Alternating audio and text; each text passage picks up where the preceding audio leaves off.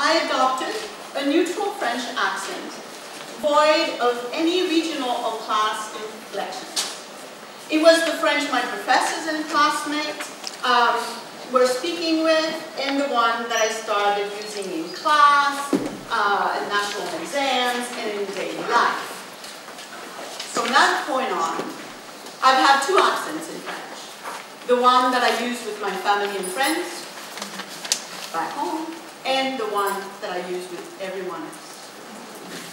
The day that I acquired my second French accent is the day I entered the class closet. I'm telling you this, not only to say that I recognize myself a lot in what uh, Didier Eribon says in, in Returning to Reims, but, today, but to say that this uh, book deals with an issue that most of us here can relate to.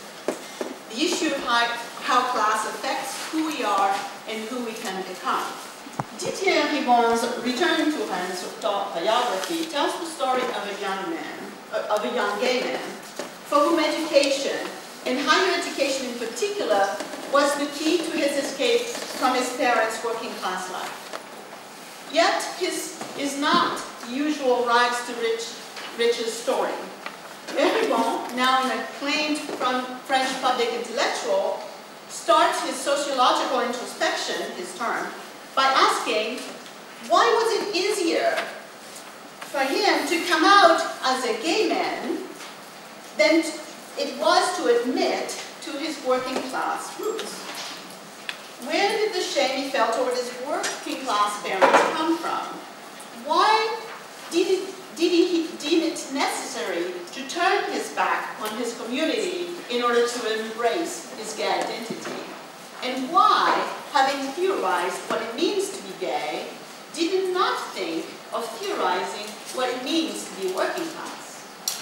Returning to Reims and Eribon's coming out of the class closet. But it is much more than that.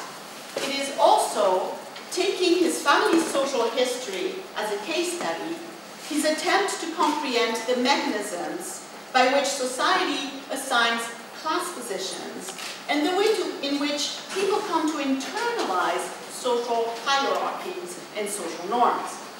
Class positions define for those who occupy them what is possible for them to be and to become.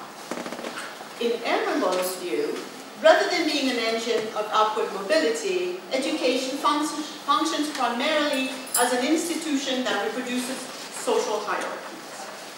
Eribon's brothers all dropped out, uh, uh, all dropped out of high school uh, to take manual jobs, as did all of their working class friends. Eribon's social trajectory from Reims projects to Paris left bank was then, as he argues, a fluke. He calls it a miracle. He avoided his brother's educational and social fate in large part because of his homosexuality, which led them to disidentify, disidentify from his homophobic family at a young age and to take refuge in France. But, as Eribon realizes in the wake of his father's passing, self-reinvention has its limits. The manner in which one is socialized, the hidden injuries of class, to use Richard Sennett's term, do leave indelible marks. Eribon exceeded the limitation of the social class, but he carried these limitations within him in the form of social shame. What is it about class that makes it so difficult to talk about? Why was it easier for Didier Eribon to come out as a gay man than it was to come out as working class? Why did I feel, instinctively, the need to hide my class origins by changing the way I sounded? What are you doing right now to hide your social background, whether you're upper middle class, middle class, or lower class? Why does class have such a sway on us? What is it about class that makes some of us want to hide and find safety in the class closet. And once there, why is it so hard to come out? What are we so ashamed of? So today with the help of Didier Eribon, we will try to understand the root of the social shame associated with belonging to a lower class.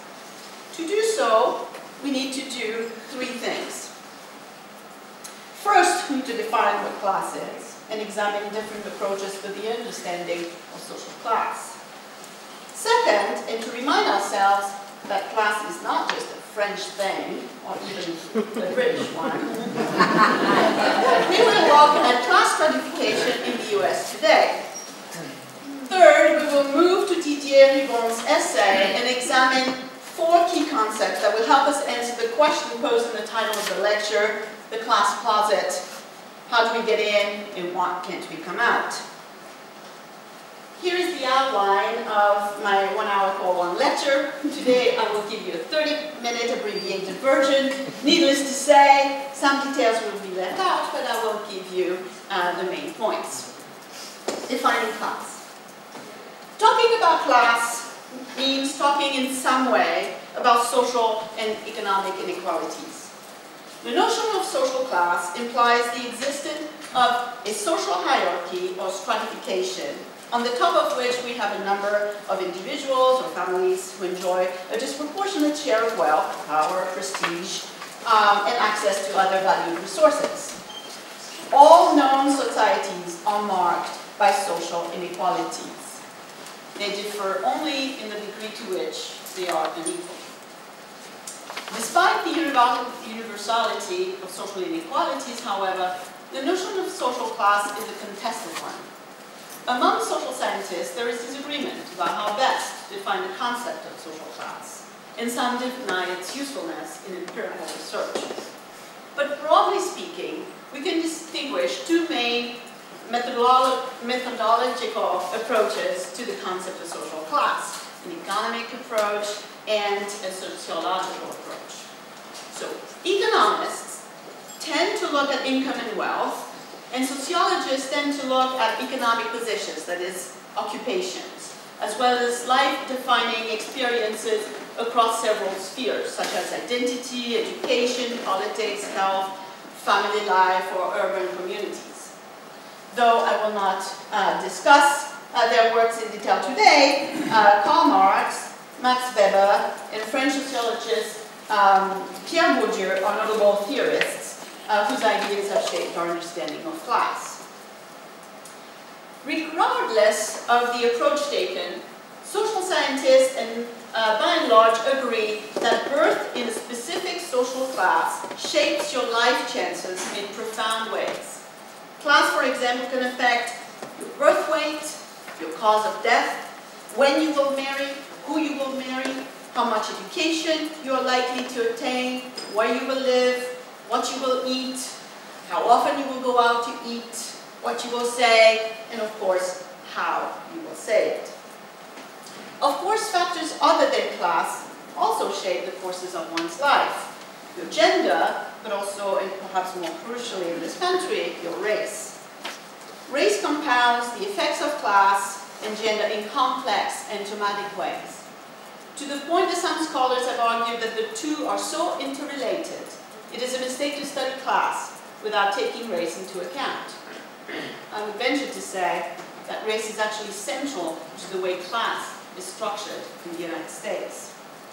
Now, with these definitions and considerations in mind, let us now take a quick look at the US class stratification system. And again, in the interest of time, I will give you a, a snapshot. Class stratification in the US. Um, today, most social scientists doing empirical research divide society in three broad categories. A class of people who own the means of production, a middle class of professionals, small business owners, managers, and a lower class uh, in which people have lower paying jobs or live in poverty. The image uh, usually conjured to represent this stratified and hierarchical social system is that of the rungs on the ladder. But if a social scientist uh, conceptualize social inequalities in terms of class, Americans in general do not typically use phrases like lower class or upper class or even the ruling class. Unlike other countries in which these terms are in common use, class-laden terms are rarely uttered in American public discourse or in the media. The only, the only uh, class term that is widely used in public discourse and in the media is the term middle class. Interestingly, when asked um, which class they belong to, 80% of Americans identify with some gradation of middle class, lower, lower middle, middle, or upper middle class. This can seem surprising, given that objectively it just isn't true and is getting less and less true every year. This, uh, this slide shows the proportion of US adults in the lower and upper classes increasing at the expense of the middle class between 71 and 2015. One explanation for this disconnect is the belief among Americans that the US is a middle class nation in which everyone has more or less the same opportunities to succeed as long as he or she is willing to work hard, persevere, and play by the rules. Another commonly held belief is that the US is a land of opportunity in which upward mobility is easy and common. This set of beliefs goes by the name of the American Dream, which sees American society as a meritocracy based on, educa on educational and career achievement. One consequence of this, these beliefs, of course, is that the poor are by and large invisible in our culture, and when they are represented, they are portrayed as down on their luck or worse, undeserving. After all, if the American dream is readily attainable and based so, solely on a willingness to work hard, then those who do not achieve it must be to blame. The numbers, however, belie these commonly held beliefs. When I say that the US is a highly stratified uh, country, this is what it means from the perspective of an economist. If we look at the average household income from 67 to 2013, for example, we see a wide spread between the top 20%, the middle 40%, and the bottom 40%. Here is the same data from 79 to 2013 that includes incomes up to the 99th percentile. Since 79, incomes of the bottom 40% have remained essentially flat, while incomes of the top 19% have almost doubled. Here is how the same data with the top 1% included. Now, let's look at how race affects these numbers. The racial gap in household income between blacks and whites persists. In 2014, the median, income, the median income of white households was 1.6 times greater than that of black households. But now, if we look at net median household wealth, which includes not only income, but value of your home, savings, stocks, retirement accounts, etc., we see a dramatic difference between black and white families, uh, family wealth, with white households possessing almost 13 times more wealth than black households in 2013. And yet, despite these stark realities, we still want to click uh, to to cling, I want to uh, to our middle class identity, even when we objectively can't. Having a car, uh, uh, having a house, maybe taking some vacations and education for the children.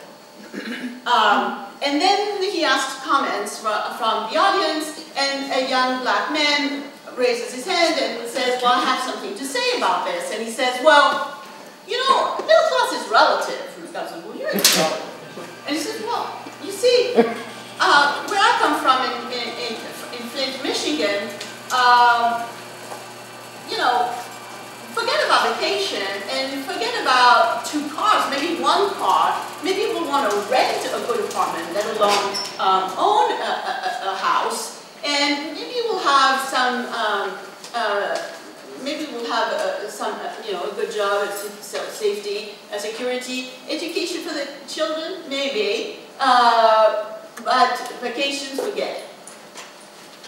And so, I'll continue. so, how do we explain this disconnect? Oh no, I'm sorry, punchline. Punchline is, uh, the journalist says, well, but you don't have any of these uh, things and you still uh, identify a middle class. And the guy says, yeah, it's relative. so, how do we, how do we uh, explain this disconnect? Why is it so important for people to identify as middle class? Now, the answer is probably simple. The term middle class functions today as a social norm.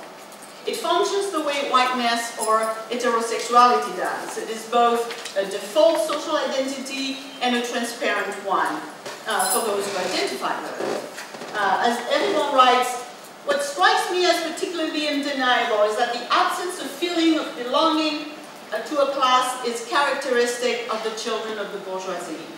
People in a dominant position do not notice that they are positions situated within a specific world, just as someone who is white or heterosexual isn't necessarily aware of being so. So, it is therefore not that most people are middle class in the US, but that they feel they should be, or at least they should aspire to be. Middle class has become an aspirational norm of socioeconomic achievement. Reaching it or exceeding it is praiseworthy, falling short is blameworthy. Middle class is then both a legitimizing category, belong to it, or a delegitimizing category if you don't. Hence the reluctance on the part of the young man in the video, which I reenacted, uh, to call himself uh, something else than middle class. But by saying that middle class is relative, he might also have been pointing to the stark income and wealth disparity between black and white people in this country. So, what about social mobility? So that was that, that was that. Um, social mobility, here it is. Here's a table that illustrates the state of social mobility in the US in 2012. As you can see here, uh, there is what sociologists call stickiness at the bottom um, of the income ladder. Here we see that 70% of people raised in the bottom income quintile will stay below the middle quintile. Social mobility in compare, the United States in comparison with other countries. Uh, and we see that countries like Denmark, Norway, Finland, and this is reverse proportional, that is to say, the more social mobility, the lower the number. Um, countries like Denmark, Norway, Finland, and Canada uh, have a social mobility rate that is much higher than the US, uh, which is right here. So, so far we've looked at quantitative analysis that measure income, wealth, and social mobility, but so far we, all we have is a macro uh, description of how America's society is stratified. Missing is an explanation of how class actually works at the level of individuals. We need to go beyond the statistics to understand how class is actually lived and experienced how people understand their class position and how they come to identify or disidentify with the social class in which they were born.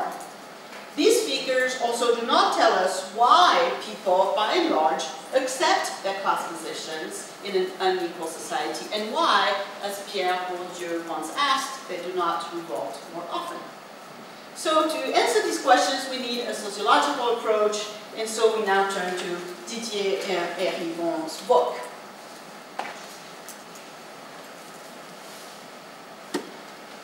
When Didier Eribon published Returning to Reims in 2009, he was best known in France as the author of the definite, uh, definitive biography of Michel Foucault and of a groundbreaking study of the formation of Gael male identity.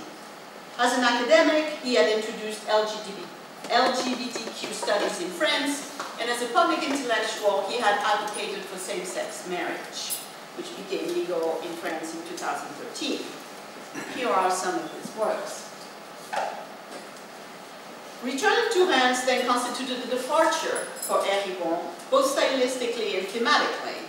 This was not a treatise, but a memoir, and this time, as George Chauncey writes in the introduction of the English translation, Didier Eribon came out again, not as gay, but as a son of the working class.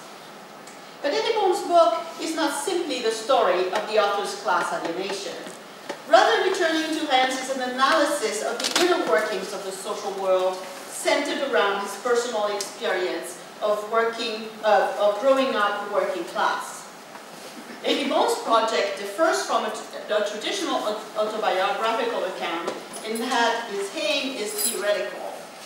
In this book, he describes the lives of his grandparents, his parents, and his brothers in order to uncover the collective determinisms that shape their life chances. Behind the particulars of their individual fates, he wants to bring to light what he calls the implacable logic that governs the social world. This logic is articulated in Returning to Reims around four key concepts. The first is the notion that class is a social verdict.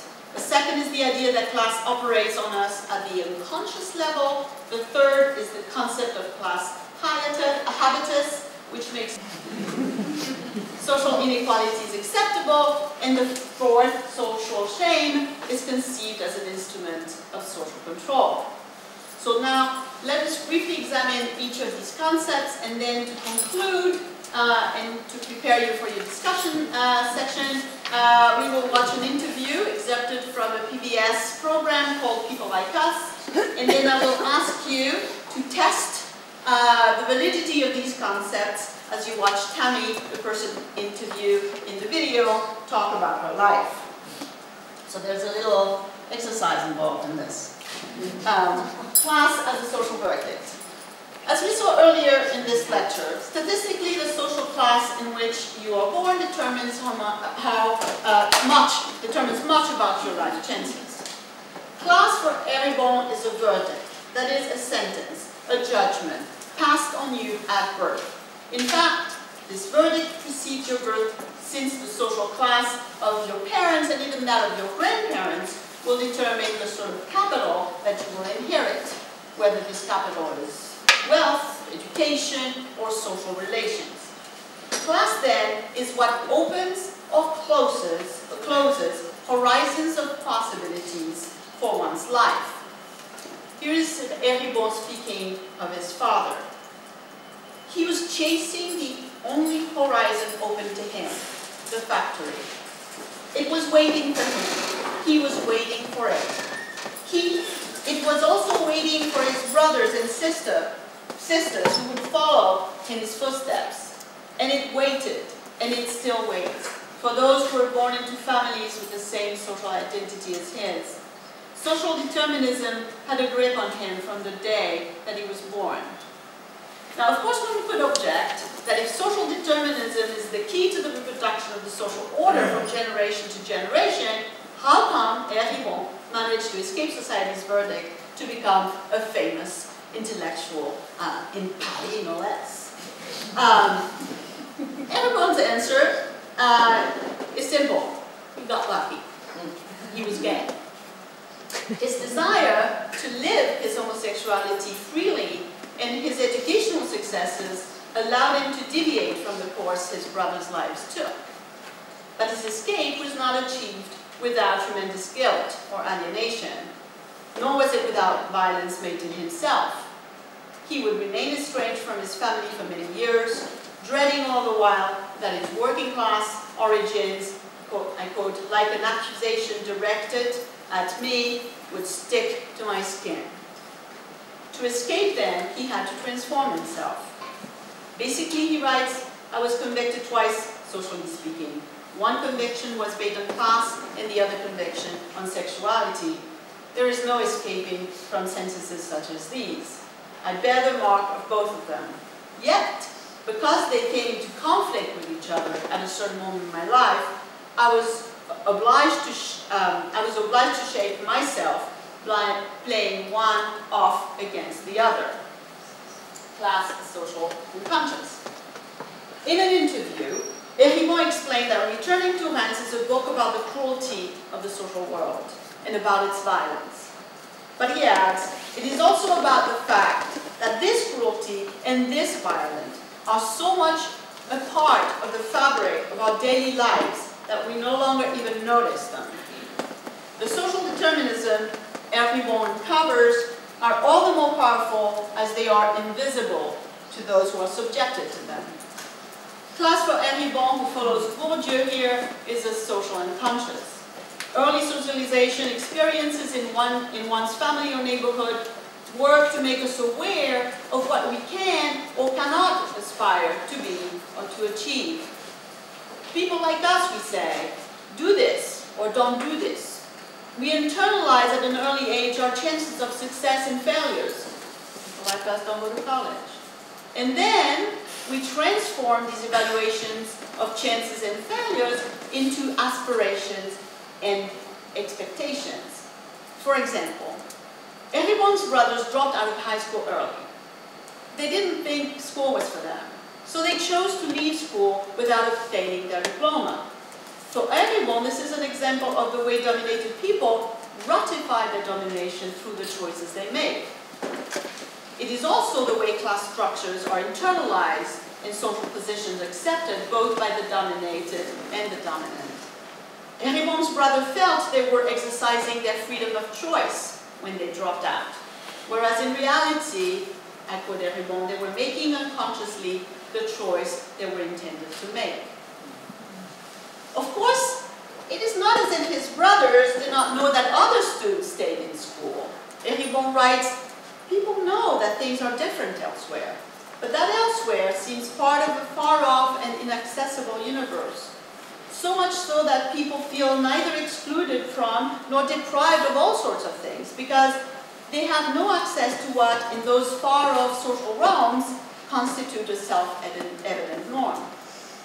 It is in the order of things and there is nothing more to say about it. No one thinks about how the order of things actually works because to do so would require being able to see oneself from a different point of view. It would require you to have a bird's eye view on your own life. Because they are seen as in the order of things, the mechanism of class positioning are not visible, but are experienced instead as personal choices. Class habitus. What people judge reasonable or unreasonable to do or to be in that position in the social world, what they judge likely or unlikely to happen to them, or what they see as natural or unthinkable to do or to say stems from what uh, Bourdieu and Eribon calls habitus. The term was coined by Pierre Bourdieu to describe the way structural class disadvantages or advantages are internalized and transmitted intergenerationally through socialization, often producing the kind of social, uh, of, um, the kind of self-defeating behavior we've seen, like dropping out of high school if you are in the lower class. Habitus contains the word habit, a behavior or an action that is repeated without having to consciously think about it. By analogy, the habitus of a certain class is composed of the habitual life choices, the cultural practice, the lifestyles, or even a set of tastes, preferences, or aversions shared by people who are in similar class or have similar life chances. Habitus, then, is what adjusts people's expectations and aspirations to the objective probabilities of their success. In this way, Eribon's brother's class habitus made them feel it made perfect sense for them to leave school and go to work while the middle class kids continued on. Habitus then explains why, explains why inegalitarian social arrangements make sense to both the dominated and the dominant classes, and why people, by and large, accept their class positions in an unequal society. Class and shame. But in case the internalization of class structure is not enough to ensure the stability and the, and the reduction of social order, another instrument is deployed in the process of socialization. And that instrument is social shame. Striving to understand why it took him so long to talk about his working class background, Eribon quickly defines shame as the emotion or effect that made him remain for so long in what he calls the class closet social shame was not only as powerful as the sexual shame he had experienced as a young man, it was just as deeply constitutive of his identity and personality. I am the son of shame, he writes.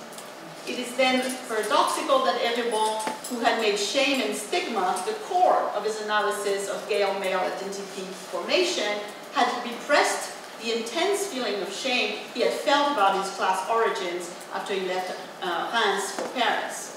For 35 years, while he was building a career as a Parisian intellectual, he emphasized his gay identity and totally repressed his class origins. It is only after the death of his father, a working class man whom he despised for his homophobia, that he started to consider what had led him not only to abandon his family, but to be ashamed of them and of himself. Shame, in this case, functions as both product of internalized social hierarchies and their, and their sorry, both as the product of internalized social uh, hierarchies and their legitimizing instrument. Feeling shame implies that one recognizes the legitimacy of the judgment placed upon oneself. Social shame in the context of Eribon's memoir is then the manifestation of his acceptance of the legitimacy of the social verdict that condemns who he is. As an effect, social shame legitimizes the social order and its inequalities and perpetuates it directed inwardly, shame leaves no room for outrage or revolt in the face of social injustice.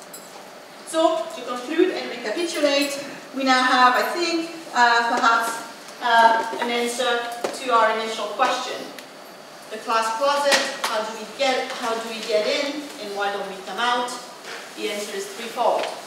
One, the social determinisms that shape people's lives remain by and large invisible or unconscious to those who are subjected to them.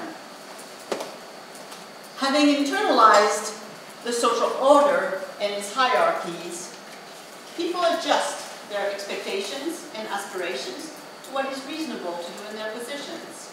And finally, social shame serves to legitimize and perpetuate the social order and to forestall revolt. So now it's your turn. And as you watch this video, think about how the way that the social world has shaped Tammy's life and that of her sons.